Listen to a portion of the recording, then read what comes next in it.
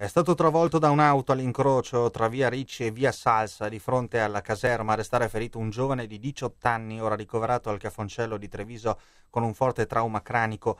L'incidente è avvenuto qualche minuto prima delle ore 14.